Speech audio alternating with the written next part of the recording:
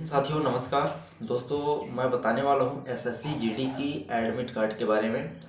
तो दोस्त का जो ई एडमिट कार्ड है, वो आ चुका है और आप डाउनलोड कर सकते हैं। बिल्कुल कोई भी प्रकार का कोई भी घबराने टेंशन वाली बात नहीं है और आशा कर तो आप सभी का तैयारी अच्छा हो गया तो सबसे इम्पोर्टेंट बात यह है, आपको तो सभी को पता है, इस बार एसएससी जीडी का जो सिलेबस है, वो चेंज हो चुका है। टाइमिंग भी बहुत कम हो चुकी है और जो सौ क्वेश्चन था, वो अब कम हो चुका है। तो लगभग दोस्तों नेगेटिव मार्किंग की यदि हम बात करें तो आप सभी को पता है, पहले एक बटा चार नेगेटिव मार्किंग रहता था।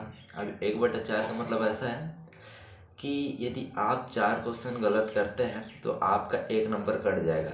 लेकिन दोस्तों, अब उसको चेंज कर दिया गया है, क्योंकि अब दो क्वेश्चन यदि भी आप गलत करते हैं तो आपका एक नंबर कट जाएगा। तो कहीं ना कहीं दोस्तों, यदि हम बात करें तो इस बार S S C G D बहुत ही टफ हो चुकी है और क्योंकि नॉर्मली बहुत ही स्टूडेंट इसको क्वालिफाई करते थे और लगभग S S C G D ने इसको बहुत ही टफ कर दिया है इस एग्ज़ाम को। कहीं ना कहीं आपको इस बार ऐसा लगेगा कि कुछ बड़े पोस्ट के एग्ज़ाम दिला है। लेकिन दोस्तों, यदि हम बात करें S S C G D भी, बहुत अच्छा पोस्ट है तो आशा करते हो आपको पसंद आया होगा। बस यही बताना था। जय हिंद, बने रहे।